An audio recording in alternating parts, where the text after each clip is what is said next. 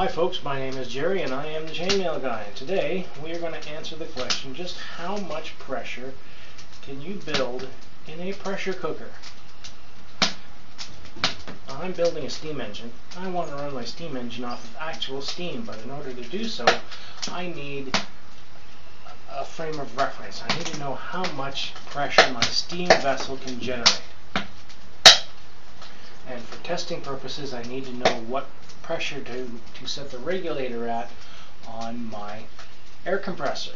So, what I've done is I have purchased a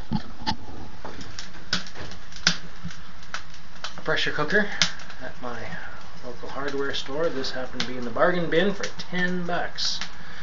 I then went to my local uh, supplier and got a pigtail and a steam pressure gauge.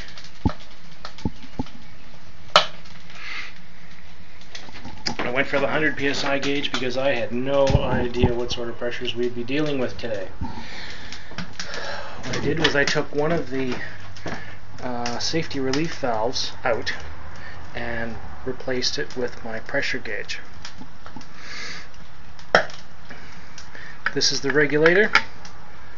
This is the safety relief valve.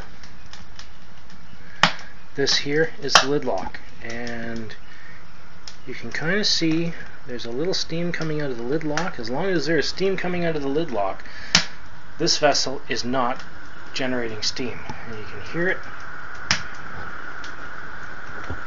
it's uh, starting to generate more steam. When it generates a couple of pounds of steam, then that lid lock will pop up and we will start generating pressure in the vessel.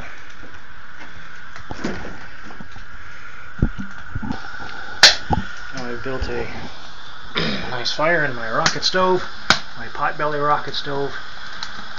We've just got a little bit of smoke coming out of the front. We can close the door a little more. Get it in a rocket mode. And you can now see that the lid lock is locked.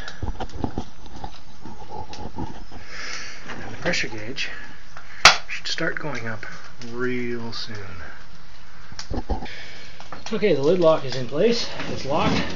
And you can see the pressure is starting to build. I currently have about six pounds.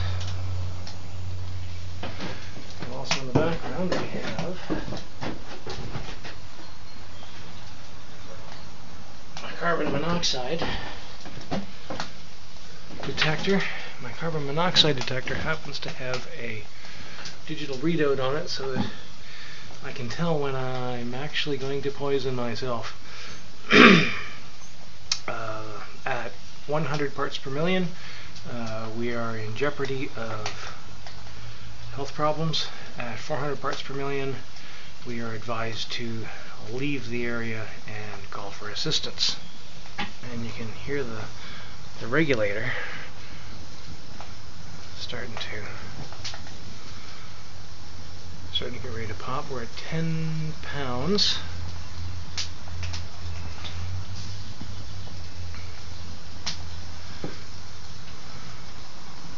Eleven.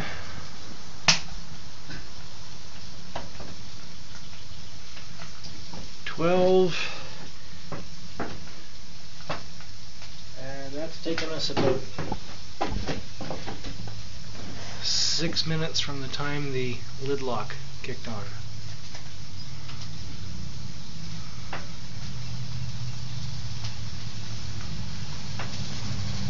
Thirteen pounds and the regulator, you can hear it, you can see it. It's about to let go. And there it goes. Just for fun, I'm going to see if we can't get a slightly higher temperature of this. And I'll do that by throwing some cardboard into the firebox.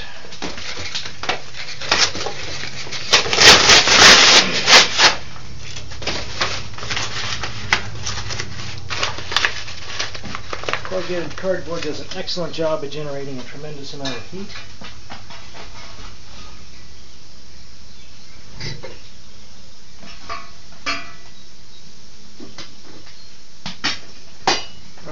CO levels do tend to go up fairly quickly. Right now my CO detector is showing 43 parts per million.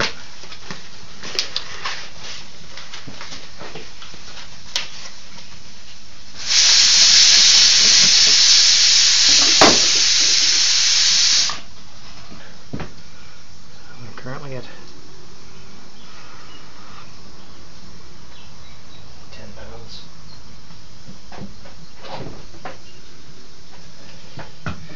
About 10 minutes. A lot of smoke because the cardboard does generate a lot of smoke until the temperature comes up.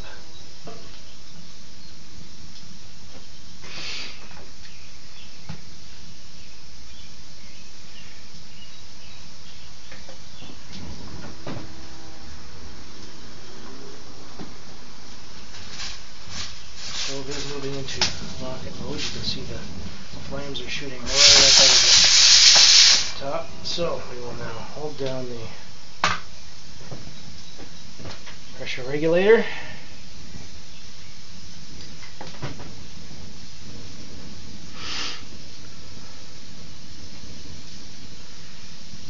Number 12.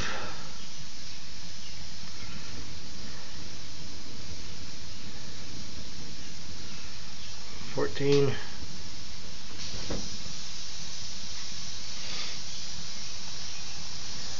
Safety relief valve is starting to kick off, so we will hold that down and see how high up we can go.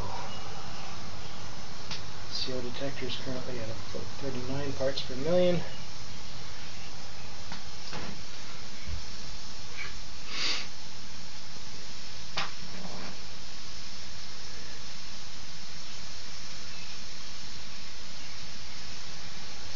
Pressure is about 16 psi.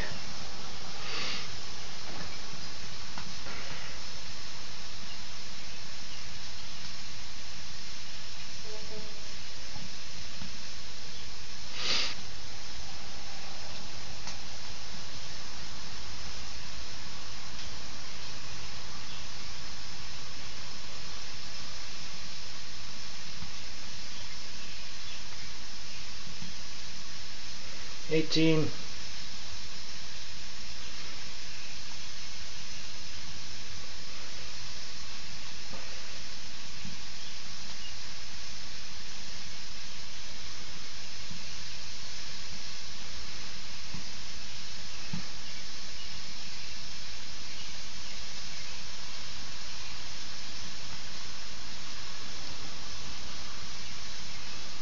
19